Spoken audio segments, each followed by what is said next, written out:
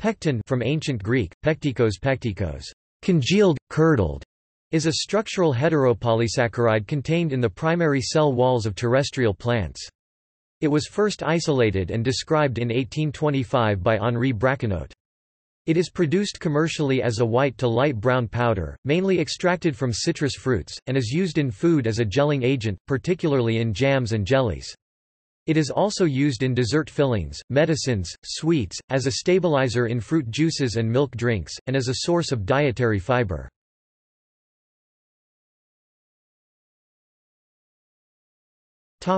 Biology In plant biology, pectin consists of a complex set of polysaccharides see below that are present in most primary cell walls and are particularly abundant in the non-woody parts of terrestrial plants.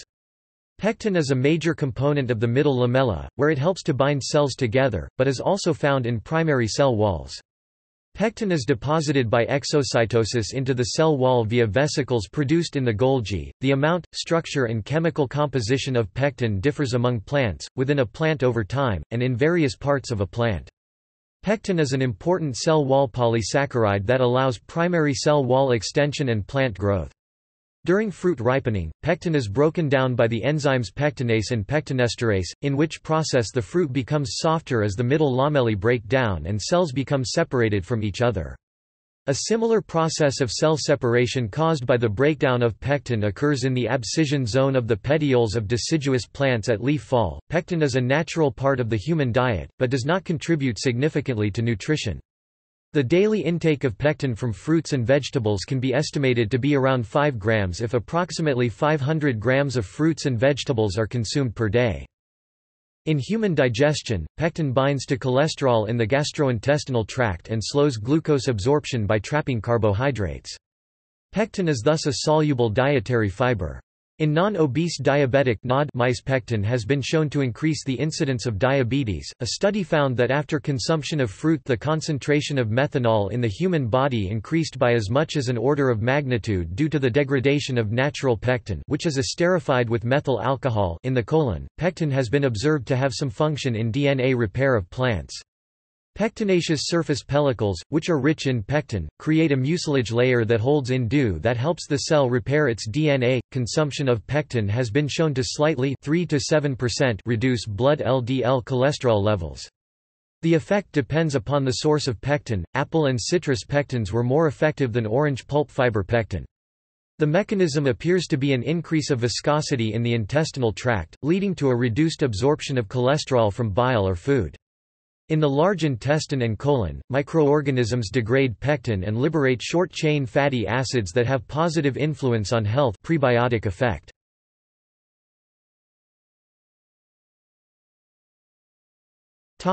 Chemistry Pectins, also known as pectic polysaccharides, are rich in galacturonic acid. Several distinct polysaccharides have been identified and characterized within the pectic group. Homogalacturonans are linear chains of alpha 1 to 4 linked D-galacturonic acid. Substituted galacturonans are characterized by the presence of saccharide-appendant residues such as D-xylose or D-apiose in the respective cases of xylogalacturonan and apiogalacturonan branching from a backbone of D-galacturonic acid residues. Rhamnogalacturonan I pectins (RGI) contain a backbone of the repeating disaccharide 4 alpha D galacturonic acid 1 2 alpha L rhamnose 1. From many of the rhamnose residues, side chains of various neutral sugars branch off.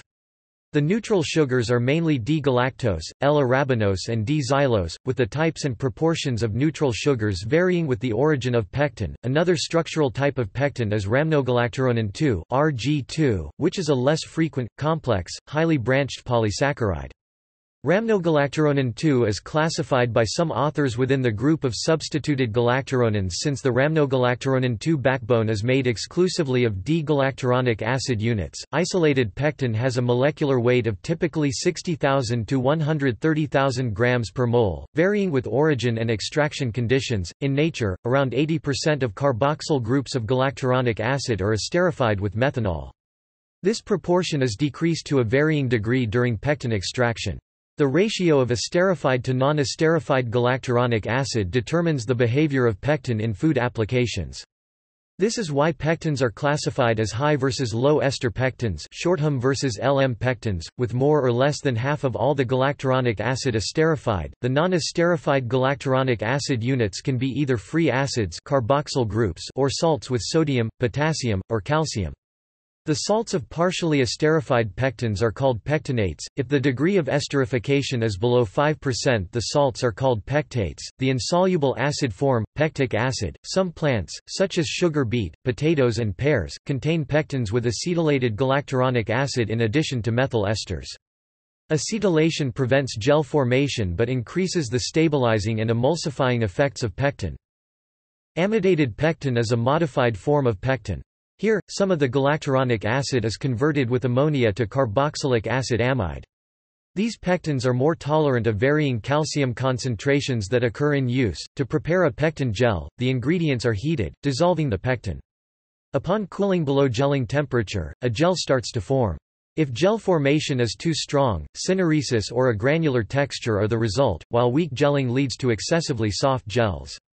Pectins gel according to specific parameters, such as sugar, pH and bivalent salts especially Ca2+, in high ester pectins at soluble solids content above 60% and a pH value between 2.8 and 3.6, hydrogen bonds and hydrophobic interactions bind the individual pectin chains together. These bonds form as water is bound by sugar and forces pectin strands to stick together. These form a three-dimensional molecular net that creates the macromolecular gel. The gelling mechanism is called a low water activity gel or sugar acid pectin gel. In low ester pectins, ionic bridges are formed between calcium ions and the ionized carboxyl groups of the galacturonic acid.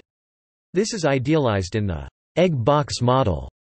Low ester pectins need calcium to form a gel, and can do so at lower soluble solids and higher pH values than high ester pectins. Normally low ester pectins form gels with a range of pH from 2.6 to 7. 0 and with a soluble solids content between 10 and 70%, amidated pectins behave like low ester pectins but need less calcium and are more tolerant of excess calcium. Also, gels from amidated pectin are thermo-reversible, they can be heated and after cooling solidify again, whereas conventional pectin gels will afterwards remain liquid. High ester pectins set at higher temperatures than low ester pectins. However, gelling reactions with calcium increase as the degree of esterification falls. Similarly, lower pH values or higher soluble solids normally sugars increase gelling speeds. Suitable pectins can therefore be selected for jams and jellies, or for higher sugar confectionery jellies.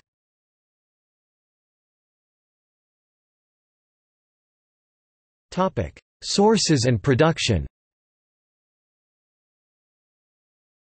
Pears, apples, guavas, quince, plums, gooseberries, and oranges and other citrus fruits contain large amounts of pectin, while soft fruits, like cherries, grapes, and strawberries, contain small amounts of pectin.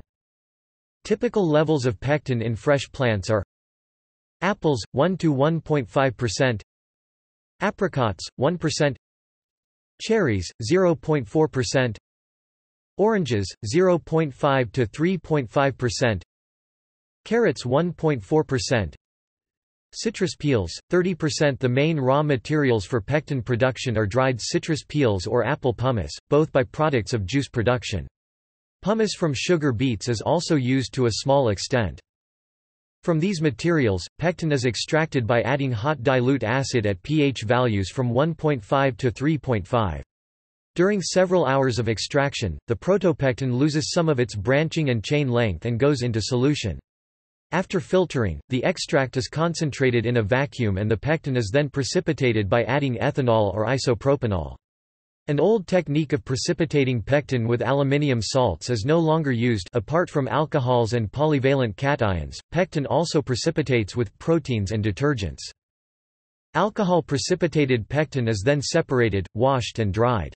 Treating the initial pectin with dilute acid leads to low esterified pectins. When this process includes ammonium hydroxide NH3AQ, amidated pectins are obtained. After drying and milling, pectin is usually standardized with sugar and sometimes calcium salts or organic acids to have optimum performance in a particular application.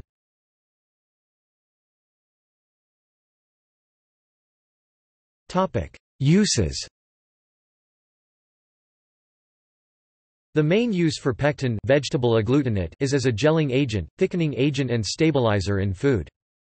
The classical application is giving the jelly-like consistency to jams or marmalades, which would otherwise be sweet juices. Pectin also reduces syneresis in jams and marmalades and increases the gel strength of low-calorie jams. For household use, pectin is an ingredient in gelling sugar also known as jam sugar where it is diluted to the right concentration with sugar and some citric acid to adjust pH. In some countries, pectin is also available as a solution or an extract, or as a blended powder, for home jam making. For conventional jams and marmalades that contain above 60% sugar and soluble fruit solids, high ester pectins are used. With low ester pectins and amidated pectins, less sugar is needed, so that diet products can be made. Pectin is used in confectionery jellies to give a good gel structure, a clean bite and to confer a good flavor release. Pectin can also be used to stabilize acidic protein drinks, such as drinking yogurt, to improve the mouth feel and the pulp stability in juice-based drinks and as a fat substitute in baked goods. Typical levels of pectin used as a food additive are between 0.5 and 1.0%. This is about the same amount of pectin as in fresh fruit. In medicine, pectin increases viscosity and volume of stool so that it is used against constipation and diarrhea. Until 2002, it was one of the main ingredients used in kaopectate a medication to combat diarrhea, along with kaolinite. It has been used in gentle heavy metal removal from biological systems. Pectin is also used in throat lozenges as a demulcent. In cosmetic products, pectin acts as a stabilizer. Pectin is also used in wound healing preparations and specialty medical adhesives, such as colostomy devices. Sriamornsak revealed that pectin could be used in various oral drug delivery platforms, e.g., controlled release systems, gastro-retentive systems, colon-specific delivery systems and mucoadhesive delivery systems, according to its intoxicity and low cost. It was found that pectin from different sources provides different gelling abilities, due to variations in molecular size and chemical composition. Like other natural polymers, a major problem with pectin is inconsistency in reproducibility between samples, which may result in poor reproducibility in drug delivery characteristics. In ruminant nutrition, depending on the extent of lignification of the cell wall, pectin is up to 90% digestible by bacterial enzymes. Ruminant nutritionists recommend that the digestibility and energy concentration in forages be improved by increasing pectin concentration in the forage. In cigars, pectin is considered an excellent substitute for vegetable glue and many cigar smokers and collectors use pectin for repairing damaged tobacco leaves on their cigars. Yablokov et al., writing in Chernobyl, Consequences of the Catastrophe for People and the Environment, quote research conducted by the Ukrainian Center of Radiation Medicine and the Belarusian Institute of Radiation Medicine and Endocrinology, concluded, regarding pectin's radioprotective effects, that Adding pectin preparations to the food of inhabitants of the Chernobyl contaminated regions promotes an effective excretion of incorporated radionuclides, such as cesium-137. The authors reported on the positive results of using pectin food additive preparations in a number of clinical studies conducted on children in severely polluted areas, with up to 50% improvement over control groups. During the Second World War, Allied pilots were provided with maps printed on silk, for navigation in escape and evasion efforts. The printing process at first proved nearly impossible because the several layers of ink immediately ran, blurring outlines and rendering place names illegible until the inventor of the maps, Clayton Hutton, mixed a little pectin with the ink and at once the pectin coagulated the ink and prevented it from running, allowing small topographic features to be clearly visible.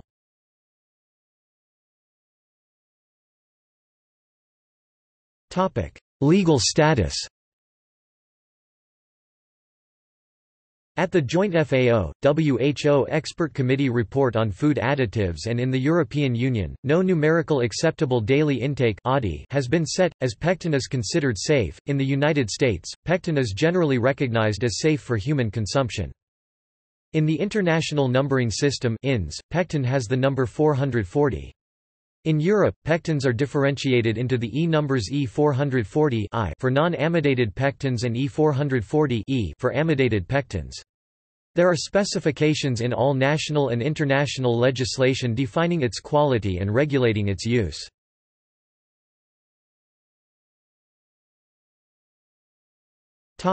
History Pectin was first isolated and described in 1825 by Henri Braconnot, though the action of pectin to make jams and marmalades was known long before. To obtain well-set jams from fruits that had little or only poor quality pectin, pectin-rich fruits or their extracts were mixed into the recipe. During the Industrial Revolution, the makers of fruit preserves turned to producers of apple juice to obtain dried apple pomace that was cooked to extract pectin. Later, in the 1920s and 1930s, factories were built that commercially extracted pectin from dried apple pomace and later citrus peel in regions that produced apple juice in both the USA and Europe. Pectin was first sold as a liquid extract, but is now most often used as dried powder, which is easier than a liquid to store and handle. See also